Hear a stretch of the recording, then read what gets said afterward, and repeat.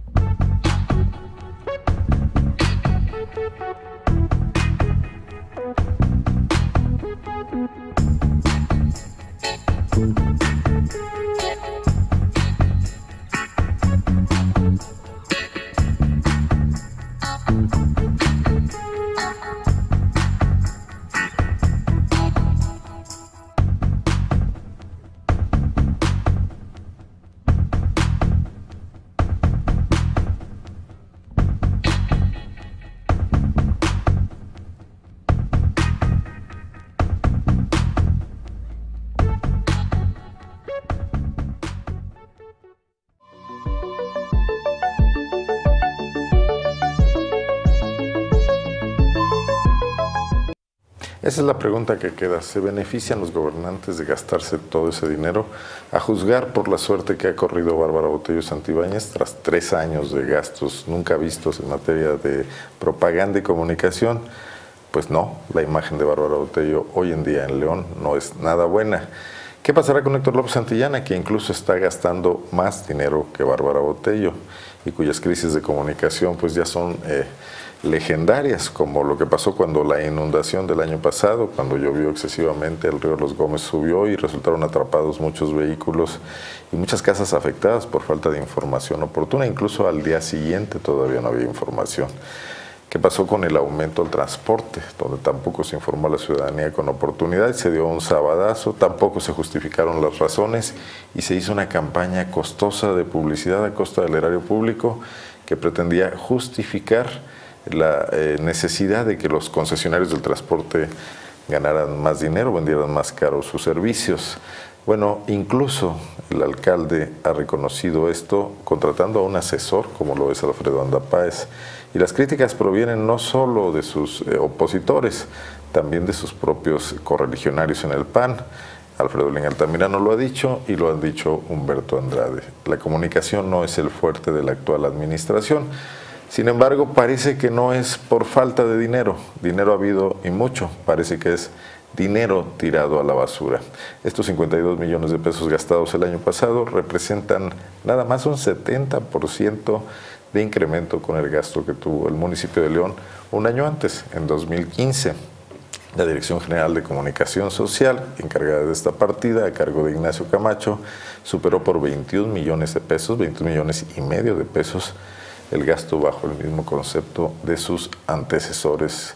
Una administración que se dividió entre Bárbara Botello y Octavio Villasana Delfín. El aumento en el gasto presupuestal no se refleja en una percepción positiva, como lo pueden atestiguar pues, prácticamente todos los observadores de la vida pública de León. Como le digo, eh, la estrategia de comunicación de López Santillana ha sido criticada desde el inicio de su administración incluso por los miembros del Cabildo y también por los dirigentes municipal y estatal del PAN.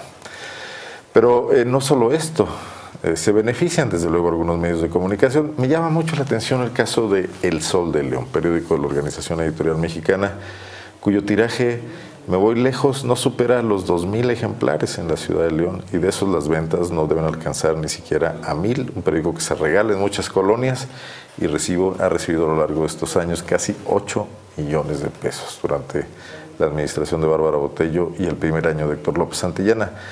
¿Para qué le sirven al alcalde mil periódicos diarios con tanto dinero gastado en ellos? Pues de muy poco. Tal como sucedió en el anterior gobierno, ícono del despilfarro, como le reitero, nuevos proveedores también han hecho acto de presencia, cambian las administraciones y llegan también nuevas empresas de publicidad e imagen. Esta vez son personas físicas cuyos contratos además han sido reservados por la Unidad de Acceso a la Información de la Presidencia Municipal de León, a petición precisamente de la Oficina de Comunicación Social que dirige Ignacio Camacho Flores. Vamos a ver la gráfica de gastos de publicidad en León, la gráfica histórica. De acuerdo a estos datos que veremos enseguida, el, en 2011, esta no es la gráfica, creo que hay una anterior, la que va por años. En 2011, esta exactamente, el gobierno encabezado por Ricardo Sheffield Padilla erogó 20 millones de pesos en publicidad. En 2012, el último ejercicio de la administración, la partida se redujo a 18 millones de pesos. Pero llegó Bárbara Botello en 2013 y aquí se produjo el primer gran salto apreciable en la gráfica. Ve usted cómo el gasto sube a 39 millones de pesos. Duplica Bárbara Botello, más que duplica, se va de 18 a 39 el gasto en publicidad, un aumento de 21 millones de pesos. Para 2014 algo de mesura hubo, aunque no mucha, y el gasto de publicidad se reduce a 38 millones de pesos. El último año, ya con el interinato de Octavio Villasana, el gasto de publicidad también baja hasta los 30 millones de pesos. Pero aquí viene un nuevo incremento notable. Cuando ingresa al municipio y el primer año completo que le toca a Héctor López Santillana, esta cifra se va a 52 millones de pesos. Todos son datos eh, provenientes de preguntas realizadas a la eh, Unidad de Acceso a la Información del municipio de León, son datos oficiales.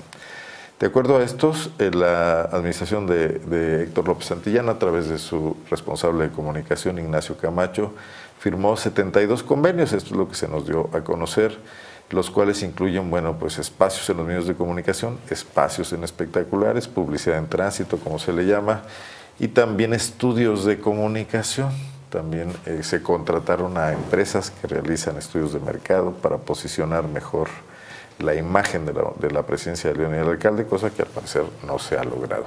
Ahora sí vamos a la siguiente gráfica. ¿Cómo se gastó en los medios de comunicación? Bueno, pues aquí la parte de León, la tajada de León, a lo largo, estas gráficas incluyen los años eh, que ejerció la administración Bárbara Botello y también Héctor López Santillana.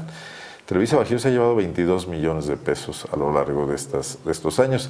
Pero si nos vamos por pestañas, si vamos a la pestaña de 2016, 2016 ahí está, Héctor López Santillana le consumió a Televisa, es eh, la empresa a la que más se le consume publicidad, son 5 millones de pesos.